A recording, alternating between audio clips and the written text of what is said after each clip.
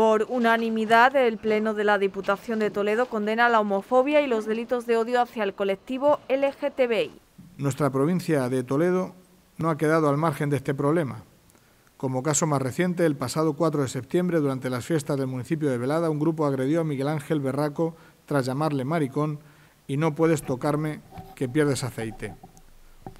Mediante esta declaración institucional, los miembros de la Corporación de la Diputación de Toledo reafirmamos nuestro compromiso con los derechos humanos y, en consecuencia, con la diversidad sexual, así como de la no discriminación de las personas por su orientación sexual o identidad de género, reconociendo los avances en este marco, al tiempo que reiteramos nuestra firme determinación de avanzar en la superación de las barreras que aún perviven hoy en día. Condenamos cualquier tipo de agresión, incluyendo tanto la violencia física como la verbal, la humillación y el menosprecio hacia personas LGTBI en cualquier parte de nuestro país y especialmente de nuestra provincia.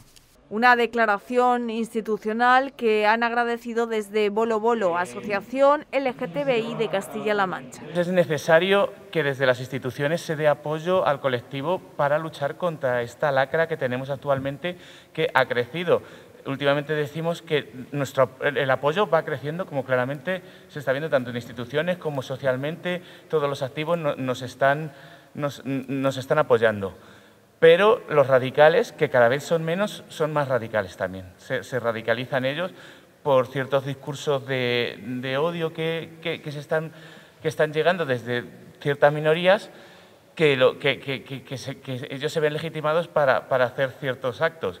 Un manifiesto apoyado por los cuatro partidos con representación en la institución provincial, Izquierda Unida, Ciudadanos, PP y PSOE, que ha cerrado un pleno de la Diputación en el que también el Partido Popular ha solicitado la ejecución de la partida presupuestaria destinada a caminos rurales. En total hay en estos momentos 3 millones. Yo creo que se le podía sumar algo más del remanente de tesorería.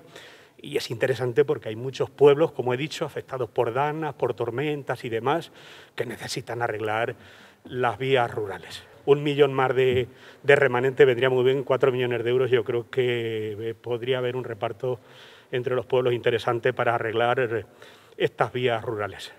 Unas subvenciones que se otorgarán en coordinación con el Gobierno de Castilla-La Mancha.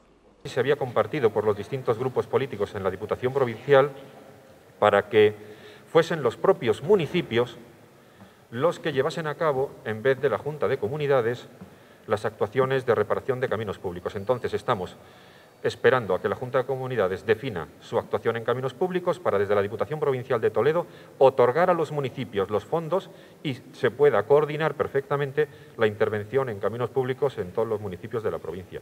El portavoz del Gobierno provincial ha anunciado además la distribución por parte de la Diputación de los 10 millones de euros del Fondo de Gasto Corriente que este año destina a los municipios de la provincia de Toledo para atender sus necesidades. 10 millones de euros que podrán aplicar todos los municipios beneficiarios de la provincia de Toledo en función de criterios estrictamente objetivos basados en la población de estos municipios a, insisto, mantenimiento y refuerzo de sus servicios públicos, a eh, atender gastos extraordinarios de lucha contra la pandemia y a la puesta en marcha de medidas de estímulo económico local para la reactivación económica en cada uno de esos municipios.